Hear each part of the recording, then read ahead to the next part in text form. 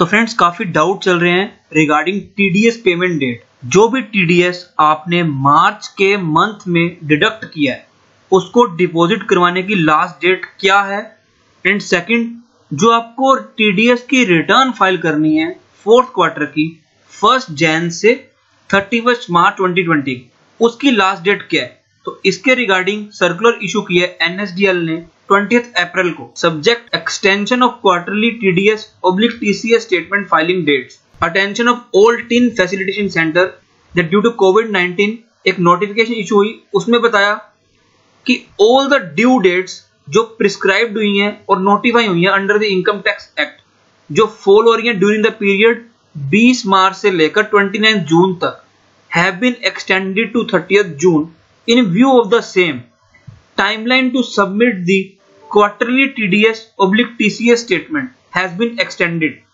The revised timeline to furnish the TDS oblique TCS statement for quarter 4 मतलब first Jan से thirty first मार्च की जो TDS की return जाएगी फॉर द फाइनेंशियल ईयर 1920 उसकी date extend हो गई है, जो पहले थर्टी फ़र्स्ट मे थी थर्टी जून तक आप उसे फ़ाइल कर सकते हो all the TIN centres are requested to take note of the same and plan the resources accordingly इससे भी आपको आंसर नहीं मिला कि आपकी पेमेंट डेट क्या है।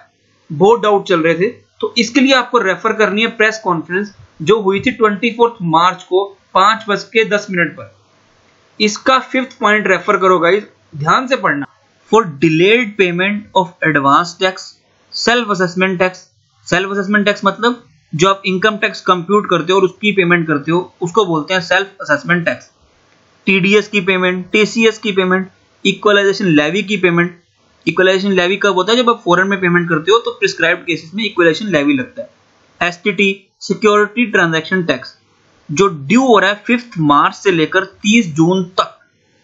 जिसकी भी ड्यू डेट आ रही है 20 मार्च से 30 जून तक, उस केस में अगर आप लेट पेमेंट करते हो तो आपको लगेगा इंटरेस्ट लेट रिड्यूस्ड रेट पर नाइन परसेंट जो 12 परसेंट और 18 परसेंट प्रिस्क्राइब्ड है एक्ट में, वो नहीं लगेगा।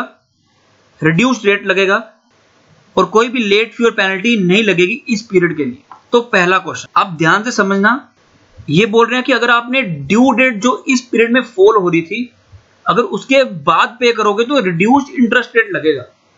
मतलब पेमेंट डेट जो मार्च में आप टीडीएस डिडक्ट करते हो, मार्च में जो भी ट्रांजैक्शन हुई है, उसको जमा करवाने की डेट क्या है? तीस अप्रैल।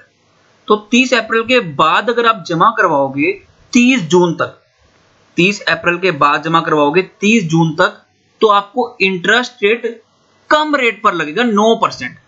तो कहने का मतलब है पेमेंट डेट को एक्सटेंड नहीं किया अगर आप पेमेंट करोगे तीस जून के बाद सपोज़ करो पाँच जुलाई तक तो आपको पूरा रेट ऑफ़ इंटरेस्ट लगेगा। एग्ज़ाम्पल देखते हैं, मार्च में जो आपने टीडीएस डिडक्ट किया है, उसको जमा करवाने की डेट क्या है हमारे पास? 30 अप्रैल।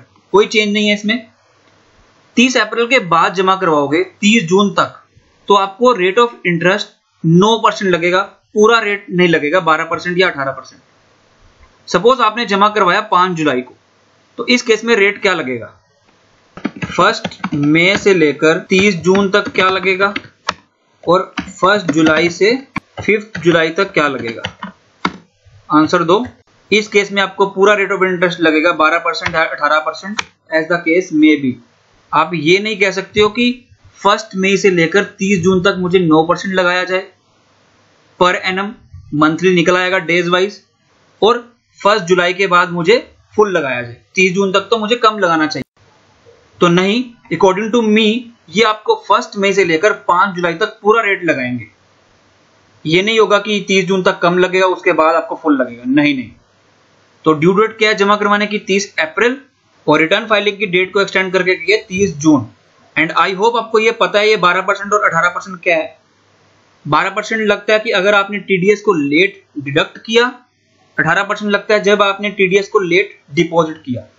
डिडक्ट कब करना होता है? जब आपने पेमेंट की और आपने जब बुक किया एक्सपेंस अपनी बुक्स में विच एवर इज़ अर्लियर उस डेट को आपने डिडक्ट करना होता है। अगर आप लेट करते हो तो लगता है रेट ऑफ़ इंटरेस्ट 12 परसेंट पर एनम वन परसेंट पर मंथ और अगर आपने लेट जमा करवाया मार्च के अलावा किसी भी मंथ का होता है तो नेक्स्ट मंथ की सात तारीख को करवाना होता है। मार्च का होता है तो तीस अप्रैल को करवाना होता है। उसके बाद करवाते हो तो अठारह परसेंट लगता है। तो अभी दोनों केस में 12 परसेंट या 18 परसेंट लेट डिडक्शन के केस में या लेट डिपॉजिट के केस में इंटरेस्ट रेट लगेगा 9 परसेंट। तो आई होप आपके लिए इन्फॉर्मेशन रेलिवेंट होगी। अच्छी लग रही है तो प्लीज़ शेयर करना और वीडियो को लाइक करना। Till then thank you very much